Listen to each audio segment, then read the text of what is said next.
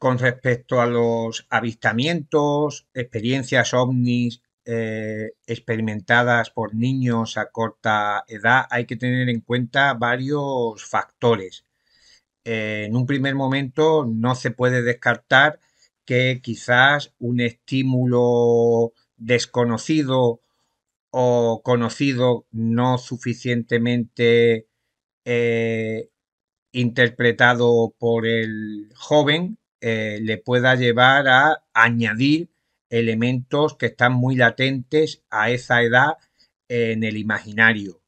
Pero no obstante, también hay que indicar, y por experiencia propia, eh, que algunos eh, testigos que a muy temprana edad han tenido algún tipo de encuentro ovni, lo han retenido en la memoria nítidamente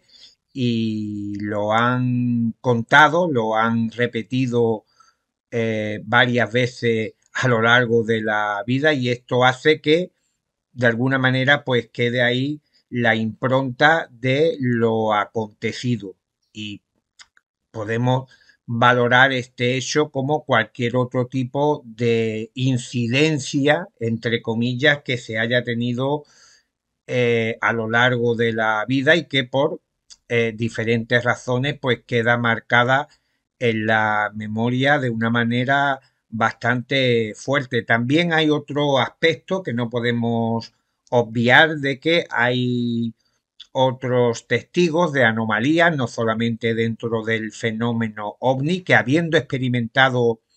algún tipo de episodio ufológico, paranormal, eh, mariano inclusive, pues no lo hayan eh, recordado hasta mucho tiempo eh, después, lo que también indicaría o que por parte del propio fenómeno o de la mente de los testigos, pues se ha producido algún tipo de barrera o de elemento que impide que este suceso, este incidente, pues sea recordado en el momento y solamente, insisto, eh, mucho tiempo después de transcurrido el evento, pues es rememorado por el testigo. Por eso yo creo que sobre todo habría que tener cierta cautela o precaución a la hora de elevar o de pretender eh, profundizar en la investigación de este tipo de experiencias mediante la hipnosis, porque si tenemos en cuenta de que el testigo ha convivido durante mucho tiempo con el contenido de esa vivencia que le ha marcado dentro de lo extraño, de lo ufológico, pues eh, evidentemente es también muy probable de que se haya procurado de informar a través de revistas, de libros, de documentales, que haya tenido una inquietud eh, por profundizar, por conocer algo más de aquello que le ocurrió de pequeño. Y claro, todo esto se va acumulando en el inconsciente, está ahí eh, latente y una mala praxis, una mala hipnosis regresiva eh, con determinadas preguntas que pueden contener ya de por sí una información, pues puede hacer que el testigo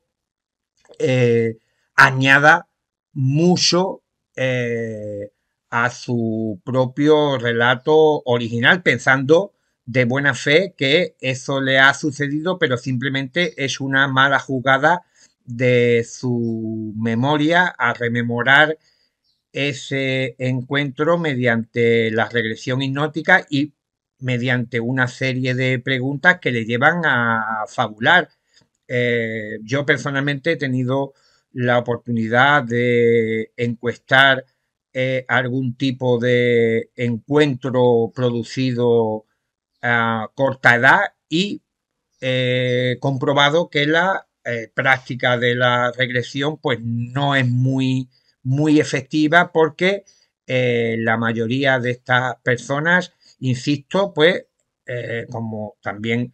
es en cierta manera lógico, con el paso del tiempo han querido eh, buscar por ellos mismos respuestas para esas preguntas que le quedan en el aire, porque nadie de su entorno se las habrá podido resolver y claro, pues todo esto se transforma en una ingente cantidad de información que está dando vuelta, está orbitando en su inconsciente y en el momento en que se efectúa eh, la regresión, pues eh, puede aflorar de una manera que llegue a confundir a los investigadores. Pero, dicho esto, por otro lado, eh, en lo que yo he podido investigar, los relatos de los niños suelen ser, suelen ser bastante fiables por la sencilla razón de que al ocurrirle eh, en un entorno eh, de la niñez, pues lo van rememorando, lo van contando a familiares y a amigos,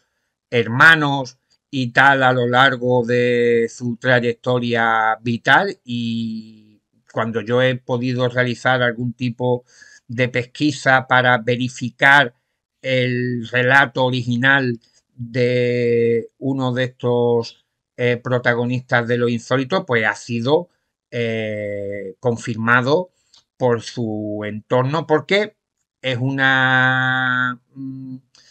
mm, práctica habitual de que en, en, reuniones familiares o con íntimos amigos pues haya salido la conversación y esto se haya repetido y sirva también y sirva también, y esto es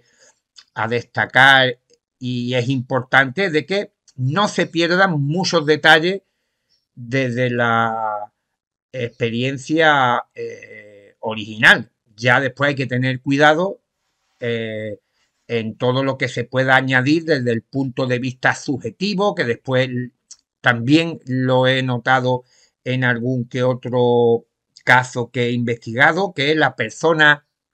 añade eh, otra serie de factores y de cosas que han ocurrido a lo largo de la vida, como intentando darle a todo una explicación. Y claro, cuando eh, interpreta ciertas cosas que le ha